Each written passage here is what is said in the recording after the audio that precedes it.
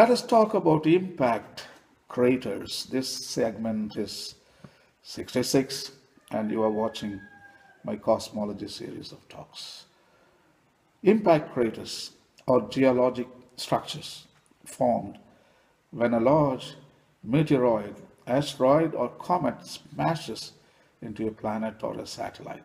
All the inner bodies in our solar system have been heavily bombarded by meteoroids throughout their history. The surfaces of the moon, Mars and Mercury where other geological processes stopped millions of years ago record the bombardment clearly. On the Earth, however, which has been even more heavily impacted than the Moon, craters are continually erased by erosion and redeposition as well as by volcanic resurfacing and tectonic activity. Thus, only about 120 terrestrial impact craters have been recognized, the majority in geologically stable cratons of North America, Europe, and Australia, where most exploration has taken place. Spacecraft orbital imagery has helped to identify structures in more remote locations for further investigations.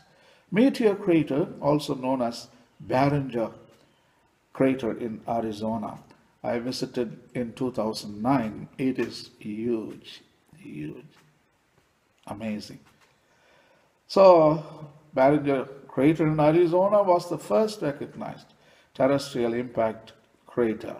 It was identified in the 1920s by workers who discovered fragments of the meteorite impactor within the crater itself. Several other relatively small craters were also found to contain impact or fragments. For many years, these remnants were the only accepted evidence for impact origin. However, scientists have come to realize that pieces of the impactor often do not survive the collision intact. I got a video for you on the impact crater and I'll let you see. When a meteorite collides with the moon, the massive impact leaves a dish-shaped crater on the surface of the satellite. Rocks in this area are propelled upwards and eventually form a wall around the crater. Some of the larger rocks fall back onto the satellite's surface with a huge impact, forming smaller craters around the initial impact crater.